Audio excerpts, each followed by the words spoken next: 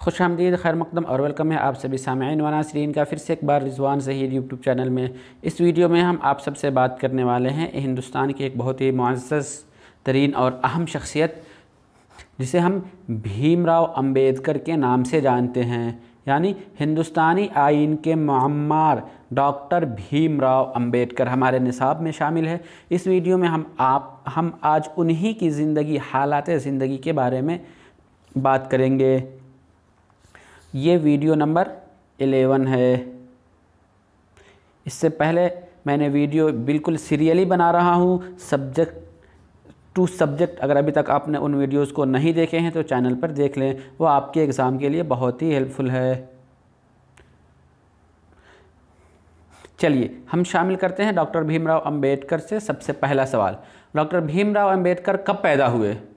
Option A 24 अप्रैल अठारह सौ इक्यानवे, पंद्रह अप्रैल अठारह सौ इक्यानवे, चौदह अप्रैल अठारह सौ बानवे या फिर चौदह अप्रैल अठारह सौ इक्यानवे। तो इस सवाल का सही जवाब है ऑप्शन फोर, चौदह अप्रैल अठारह सौ इक्यानवे।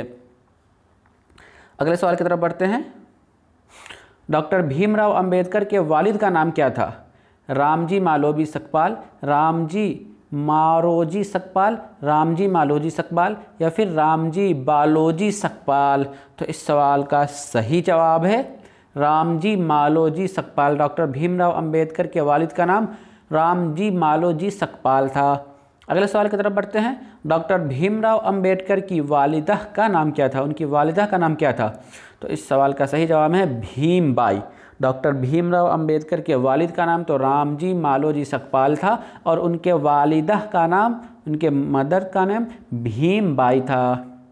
अगला सवाल है, डॉक्टर भीमराव अंबेडकर अपने वालिदैन के कितने नंबर की औलाद हैं? बारहवीं, तेरहवीं, चौदहवीं या फिर पंद्रहवीं? तो इस सवाल का सही जवाब है ऑप्शन थ्री, चौदहवीं। डॉक्टर भीमराव अंबेडकर अपने वालदेन की चौदहवीं नंबर की औलाद हैं। अगले सवाल की तरफ़ बढ़ते हैं। लोग डॉक्टर भीमराव अंबेडकर को प्यार से क्या कहा करते थे? डॉक्टर भीमराव अंबेडकर को लोग प्यार से उनके एक अलग नाम से जानते थे। वो कौन सा नाम था? तो इसका जवाब है भीमा। लोग भीमराव अंबेडकर को, बी आर अंबेडकर को भीमा भी बोलते थे। अगला सवाल है, डॉक्टर भीमराव अंबेडकर के दादा का नाम क्या था? रामजी, मालोजी, सकपाल या फिर अंबेडकर? तो इस सवाल का सही जवाब है मालोजी। क्या है उनके?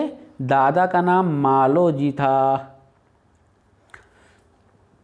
नेक्स्ट क्वेश्चन है, जब डॉक्टर भीमराव अंबेडकर के वालिद के वालिद के फौज से सबकदोशी के वक्त उनकी उम्र क्या थी? यानी जब डॉक्टर भीमराव अंबेडकर के वालिद फौज के जॉब से, नौकरी से रिटायर हुए तो उस वक्त भीमराव अंबेडकर की उम्र क्या थी? दो बरस, तीन बरस, चार बरस या फिर पाँच बरस? तो इस सवाल का सही जवाब है दो बरस। नेक्स्ट है, डॉक्टर भीमराव अंबेडकर का ख़ानदान सेंट्रल इंडिया से कहाँ मुंतकिल हुआ? डॉक्टर भीमराव अंबेडकर का ख़ानदान सेंट्रल इंडिया से कहाँ मुंतकिल हुआ? कौन सी जगह? नेरोल, करनौल कोकन या फिर भीवंडी? तो इस सवाल का सही जवाब है कोकन के इलाका में वापोली। क्या है? कोकन के इलाका में वापोली। अगले सवाल की तरफ़ अब हम बढ़ते हैं। डॉक्टर भीमराव अंबेडकर का कितने बरस की उम्र में स्कूल में दाखिल हुआ? डॉक्टर भीमराव अंबेडकर कितने साल के थे जब उनका एडमिशन स्कूल में हुआ? चार साल, पाँच साल, छः साल या फिर सात साल? तो इस सवाल का सही जवाब है, पाँच साल। वो जब पाँच साल के ही थे, तभी उनका दाखिला स्कूल में हो गया। नेक्स्ट है वापोली से डॉक्टर भीमराव अंबेडकर का ख़ानदान कहाँ मुंतकिल हुआ? ऑप्शन, सतारा। या सितारा। वापोली से डॉक्टर भीमराव अंबेडकर का ख़ानदान सितारा मुंतकिल हो गया। नेक्स्ट है, कितने बरस की उम्र डॉक्टर भीमराव अंबेडकर की वालिदा का इंतकाल हो गया। यानी कितने बरस की उम्र में जब भीमराव अंबेडकर कितने साल के थे तो उनकी वालिदा का इंतकाल हुआ? चार साल, पाँच साल छः साल या फिर सात साल? तो इस सवाल का सही जवाब है छः साल। उन, जब भीमराव अंबेडकर सिर्फ़ दो साल के थे तो उनके वालिद का इंतकाल हुआ और जब वो छः साल के थे तो उनकी वालिदा का, यानी माँ का इंतकाल हो गया। नेक्स्ट है। सितारा से डॉक्टर भीमराव अंबेडकर का ख़ानदान कहाँ मुंतकिल हुआ? यानी सितारा। से वो फिर पहले तो वो काकोल में थे उसके बाद काकोल के बाद सितारा गया और सितारा से उनकी फैमिली कहाँ चली गई? तो मुंबई इस सवाल का जवाब होगा मुंबई।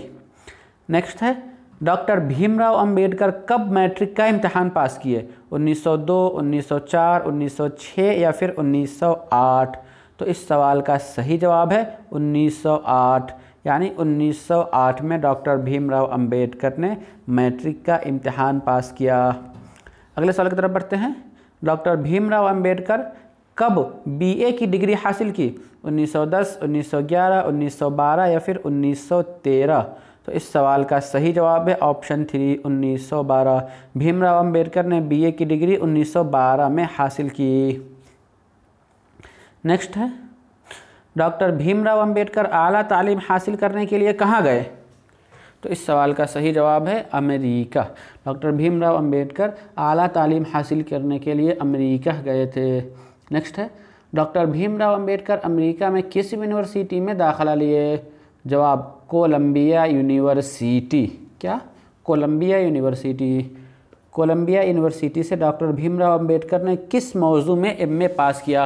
वो तो अमेरिका गए, अमेरिका के कोलंबिया यूनिवर्सिटी में और कोलंबिया यूनिवर्सिटी में उन्होंने जो एमए का कोर्स किया तो एमए में उनका क्या मौजू था? तो इसका जवाब होगा माशियात, यानी फिर, यानी जिसे हम इकोनॉमिक्स कहते हैं।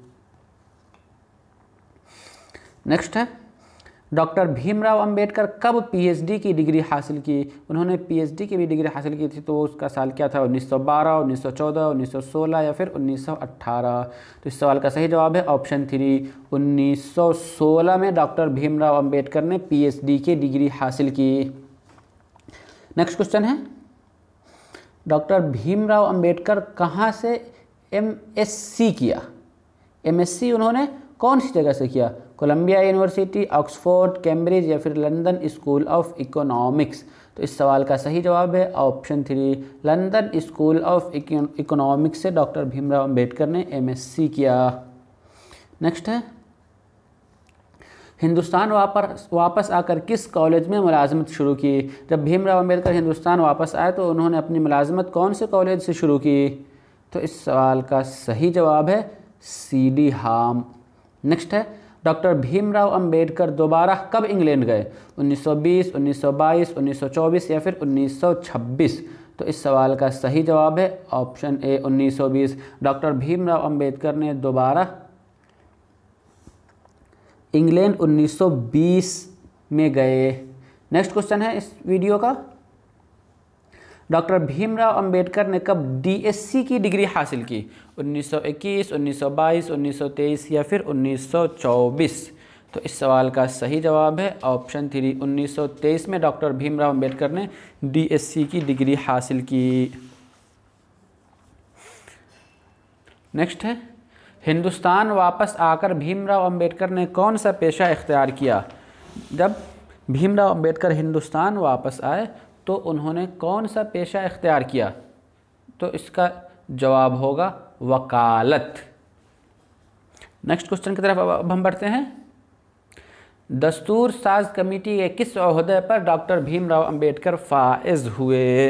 हिंदुस्तान जब 1947 में आज़ाद हुआ तो एक अपने दस्तूर की ज़रूरत पड़ी। तो उस दस्तूर को बनाने के लिए, उस दस्तूर साज कमेटी के लिए सब जो सदर मुकर मुकर किए गए थे, वो डॉक्टर भीमराव अंबेडकर थे।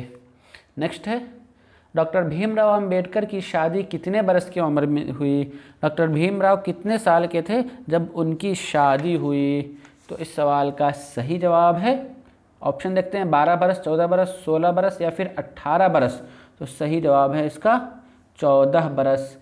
उनकी उम्र सिर्फ़ और सिर्फ़ चौदह बरस थी, तभी उनकी शादी हो गई। हाँ एक और इंटरेस्टेड है कि उस, जब जिनसे उनकी शादी हुई, जिनका नाम रामाबाई था, जो कि नेक्स्ट क्वेश्चन में आ रहा है, उनकी उम्र क्या थी? यानी डॉक्टर भीमराव अंबेडकर की शादी के वक्त उनकी बीवी रामाबाई की उम्र क्या थी? तो इसका जवाब होगा नौ बरस। अब एक और क्वेश्चन है इससे रिलेटेड डॉक्टर भीमराव अंबेडकर को भारत के किस एजाज़ से नवाजा गया? डॉक्टर भीमराव अंबेडकर को किस एजाज़ से नवाजा गया? तो उसमें आपको बता दूँ कि हिंदुस्तान का सबसे मुआज़ एजाज़, सबसे बड़ा या सबसे हाईएस्ट जो है वो है भारत रत्न। तो भीमराव अंबेडकर को भारत रत्न एजाज़ से भी नवाजा गया। नेक्स्ट क्वेश्चन है।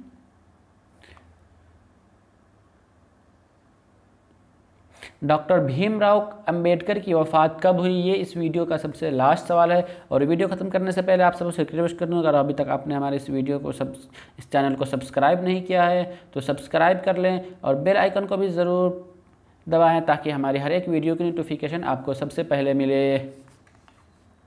क्वेश्चन है, डॉक्टर भीमराव अंबेडकर की वफ़ात कब हुई? पाँच दिसंबर उन्नीस सौ छप्पन पाँच दिसंबर उन्नीस सौ चौवन, नौ नवंबर उन्नीस सौ छप्पन या फिर छः दिसंबर उन्नीस सौ छप्पन? तो इस सवाल का सही जवाब है पाँच दिसंबर उन्नीस सौ छप्पन। डॉक्टर भीमराव अंबेडकर की वफ़ात पाँच दिसंबर उन्नीस सौ छप्पन को हुई। तो इस वीडियो में बस इतना ही। हम फिर मिलते हैं आप सबों से इस सीरीज़ की अगली वीडियो में। तब तक के लिए दीजिए हमें इजाज़त। शुक्रिया। अल्लाह हाफिज़।